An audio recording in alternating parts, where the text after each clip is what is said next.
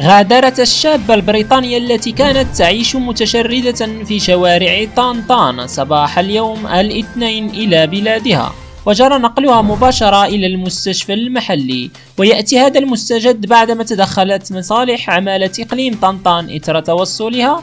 الأحد إلى معلومات بشأن سائحة أجنبية بريطانية الجنسية متشردة في مدينة طنطان حيث قامت السلطات المحلية بعملة تمشيط واسعة النطاق في مختلف أنحاء الإقليم حيث تم العثور عليها مساء اليوم نفسه داخل بناية مهجورة في المدخل الجنوبي لمدينة طنطان.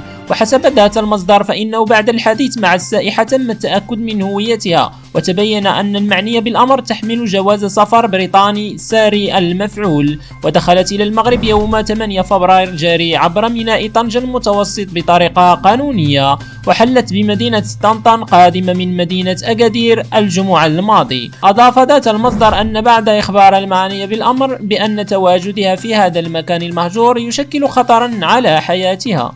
وعليها التوجه إلى داخل المدينة وبما أنها لا تتوفر على المال الكافي حسب ما صرحت به فقد تكلفت السلطة الإقليمية بحجز غرفة لها في فندق تكساس في المدينة. وخلف انتشار صور شابة البريطانية متشردة في المغرب تعاطفا كبيرا من لدن رواد مواقع التواصل الاجتماعي. إلى اللقاء إلى الخبر القادم. لا تنسوا الاشتراك في القناة والضغط على زر الإعجاب. شكرا لكم.